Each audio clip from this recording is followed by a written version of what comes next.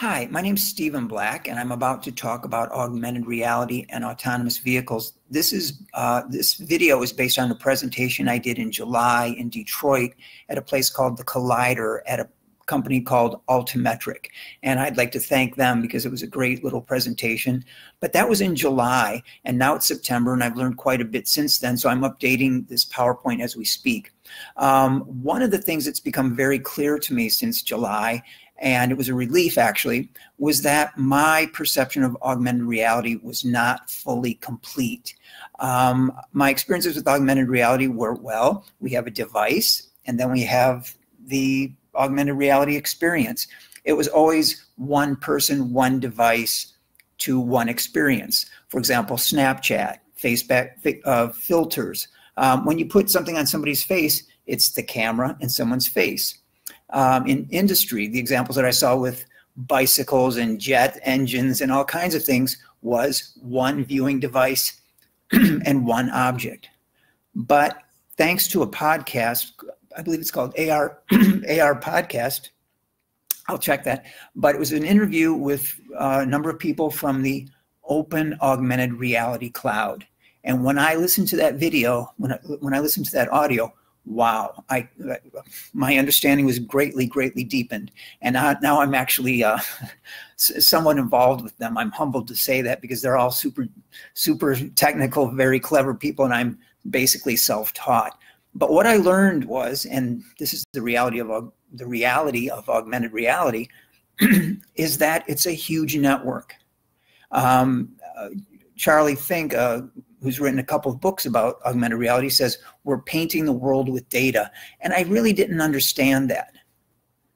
And I think what now my understanding of augmented reality is that it will be everywhere. Are we going to have smart glasses? Are we always going to be using our phones? Not necessarily, but there will be a lot of coded data stored in buildings, for example, um, in specific locations.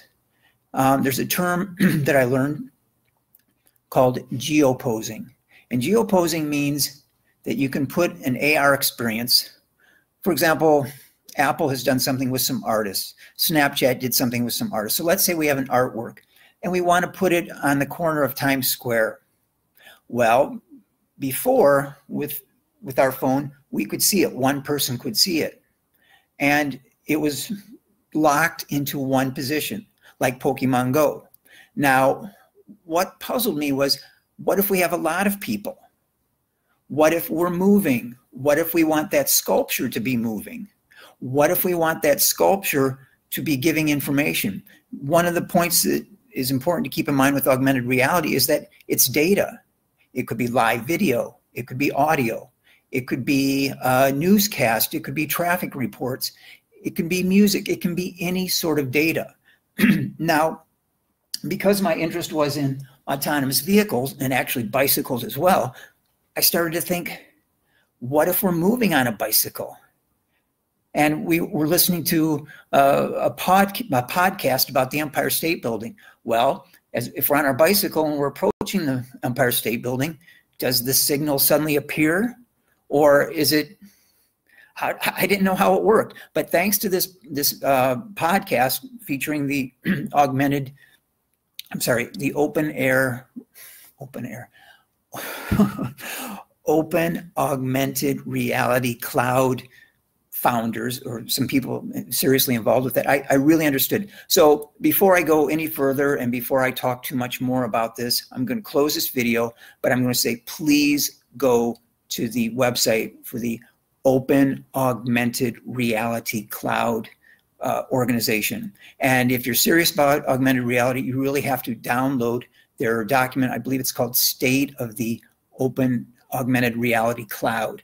it's, it explains things very, very clearly. And it, it's such a complex issue because now I'm mentioning the issue of mo movement with autonomous vehicles. That's a very serious issue, not only because of the passengers might want some augmented reality entertainment, but the car itself, which is a computer on wheels, might be reading augmented reality from other cars, from objects like street signs or pedestrians or e-bikes. It's really uh, simply, augmented reality is huge.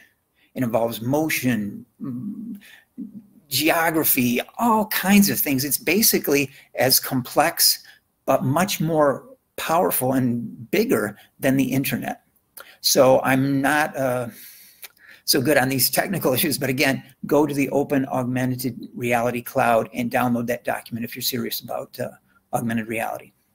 Thank you. I'm next video will be I'm going to go into uh, this actual topic of augmented reality and autonomous vehicles. Thank you.